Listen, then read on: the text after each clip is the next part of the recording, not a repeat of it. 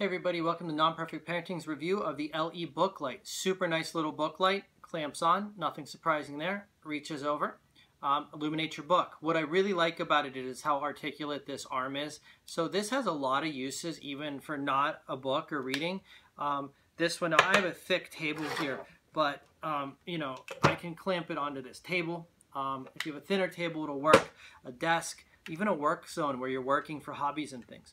Uh, another great feature is it has two LEDs, so there's brightness and there's this double bright with the second LED in it.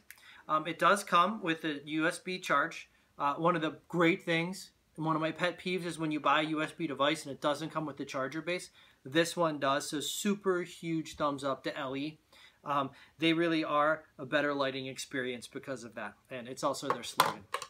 Like I said, great light, um, love it tons of uses available on Amazon. Pick yours up there. It's highly recommended by nonperfectparenting.com. And when you're done there, head over to our website, nonperfectparenting.com, to see stories about our family, product reviews, blog posts, and a ton more. Take